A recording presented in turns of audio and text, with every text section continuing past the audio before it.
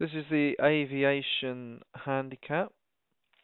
One mile, 0 to 70 for three year olds and up.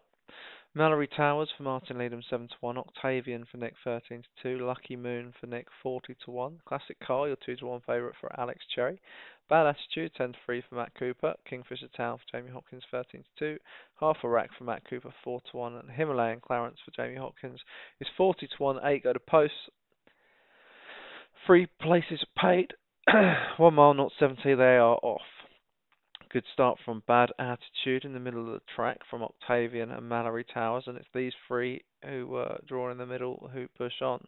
Octavian just noses in front in the lead from Mallory Towers.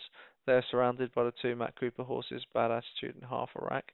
Kingfisher Town is starting to make some headway down the uh, middle of the track with Lucky Moon in between the two Matt Cooper horses.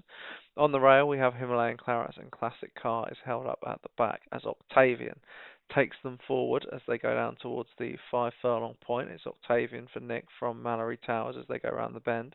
Lucky Moon is in into second now ahead of Mallory Towers and Kingfisher Town is just round the outside of that one.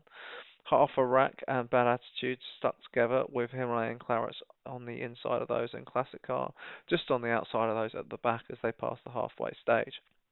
Octavian has the lead and is dictating the pace from Mallory Towers going well. Kingfisher Town, they're now being ridden to go alongside. Lucky Moon is starting to push forward. No move from the four at the back. Classic Car making some headway down the near side here in the middle of the track. It is Octavian in front from Mallory Towers. Lucky Moon through the middle. They come round the final bend. Classic Car has made some headway from the back of the pack and looks ominous here. Octavian has kicked for home and is in front, but Classic Car is moving with speed and Classic Car has motored into the front from Octavian. Kingfisher Town, Mallory Towers, Himalayan Claret staying on through the middle, but Classic Car may have been and gone here, and it's Vroom Vroom, it's the Classic Car, who goes to the front and looks to win this 0 to 70. Coming late is Mallory Towers, but it's not going to be enough. Classic Car wins for Alex Cherry. At the back of the pack, turned on the turbo. See you later. Sends this field to bed. Classic Car, your winner, the 11 to 8 favourite.